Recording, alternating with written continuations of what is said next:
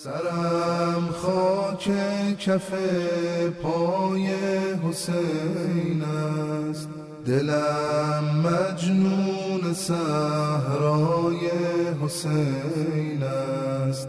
دلم مجنون صحرای حسین و قبره فی قلوب من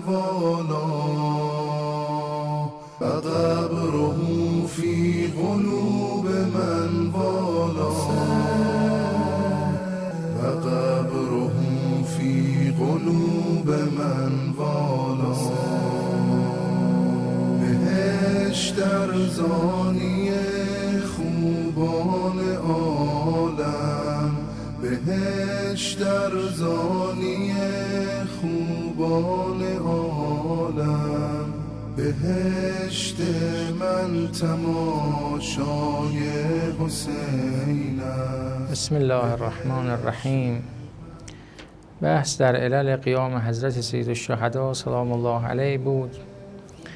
دیگر از علل قیام اون حضرت وظیفه الهی است که بر عهده هر یک از معصومین علیهم السلام قرار داده شده است. هر یک از امامان معصوم ما یک وظیفه الهی دارند که مخصوص به خود اونهاست و از جانب پروردگار متعال معمور به انجام اون هستند. لذا به اون وظیفهشون عمل می‌کردن و امام علیه السلام نیز وظیفه داشتن این قیام رو انجام بدن. لذا تکلیف ظاهری اون بزرگوار اقتضا می کرد که از مدینه به سوی مکه و از مکه به سوی عراق سفر نمایند. و اگر بناس کشته بشن در آنجا کشته بشن در سرزمین عراق و کربلا. لذا در فرمایشات خود اون حضرت هم هست که افرادی که با توجه به اون وضعیتی که به دست ظالمین و خلفای جور پیش آمده بود در اون عصر و زمان امام رو نهی می‌کردن از این سفر. می‌گفتن آقا شما رو می‌کشن. امام میفرمودن من هر جا برم منو می‌کشن. اینها دست بردار من نیستن. لذا وظیفه ظاهری چنین اقتضا می‌کرد که امام به سرزمین عراق برون حسب وظیفه الهیشون. که گفتیم در بحثای گذشته یزید با عامل خودش در مدینه دستور داد که یا از حضرت بیعت بگیر یا زود امام رو به قتل برسان. خب امام علیه السلام در این سفر به حرم امن خدا هم پناه برده بودند که حتی اونجا برای وحوش و پرنده ها و حتی گیاهان معمن قرار داده شده حرم امن الهی. در اونجا هم دارد در تاریخ که یزید افرادی رو معمول کرد که اون حضرت رو ترور کنند که اون بزرگوار وقتی متوجه شدن از اونجا خارج شدن دیگر از علل قیام اون حضرت که در تاریخ هست قریب به دوازده هزار نامه کوفیان برای امام علیه السلام نوشتن و امام رو دعوت کردند که آقا شما تشریف بیاورید و ما همه مطیع و گوش به فرمان شما هستیم. حضرت مسلم هم که فرستاده امام علیه السلام بودن ایشون هم خب قبل از شهادتشون اون فاجعه پیش بیاند. برای امام علیه السلام نوشتن که مردم بیعت کردن و شما تشریف بیارید. لذا حجت بر امام ظاهرا تمام بود. یعنی اگر امام نمی‌خواستن حرکت کنن و دعوت مردم رو اجابت کنن بعدها مردم چه می‌گفتن؟ دوازده هزار نامه برای پسر پیغمبر رفت برای حجت خدا رفت.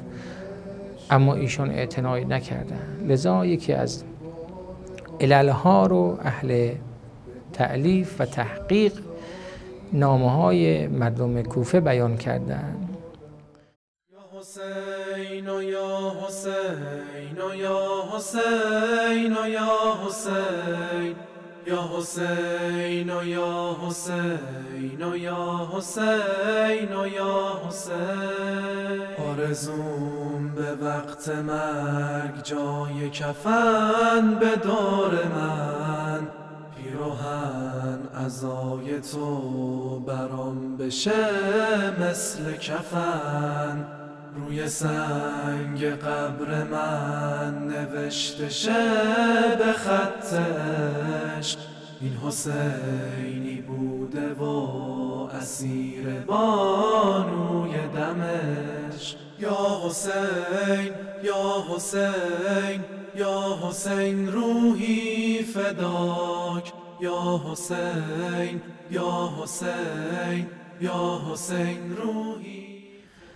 خب پس بحث کشتن امام که در فرمایشات خودشون هست این قطعی بوده. یعنی اگر امام به کربلا هم نمی رفتن به عراق هم نمی رفتن امام رو هر جا می یافتن می کشتن دارد که چون برادر اون حضرت محمد حنفی خدمت اون سرور عرض کرد آقا به یمن بروید یا به گوشه صحرا و کوه ها فرار کنید. در جواب فرمودن والله یا اخی لو كنت في جحر هامة من هوام الارض استخرجوني منه حتی یقتلونی. ای برادر به خدا سوگن اگر در سوراخ جانوری بروم مرا بیرون آورند تا بکشند. اینها تصمیم قتل صد درصد امام رو داشتن چون فرزدق گفت یبن رسول الله چرا حج را تمام نفرمودی؟ فرمود اگر مانده بودم مرا دستگیر می‌کردم که گفتیم در اون جریان حج افرادی رو یزید لعنت الله علیه معمور کرده بود که آقا سید الشهدا علیه السلام رو ترور کنن. لذا این نکته هست و وظیفه ظاهری امام بود وظیفه الهی امام علیه السلام بود که این حرکت رو انجام بدن و به سرزمین عراق وارد شوند باز دارد در جواب باز افرادی که به اون حضرت می‌گفتن آ این مسیری که شما میرید جز قتل چیزی در انتظار شما نیست. امام علیه السلام فرمودن ای بنده خدا آنچه می اندیشی بر من پوشیده نیست و خدای متعال در کار خود مغلوب نمی شود. یعنی جز آنچه اراده خدا به آن تعلق گرفته نخواهد شد. سپس فرمودن به خدا سوگندت از من بر ندارن تا این دل خون شده را از سینه ام بیرون آورند. وصلى الله على محمد وآله الطاهرين.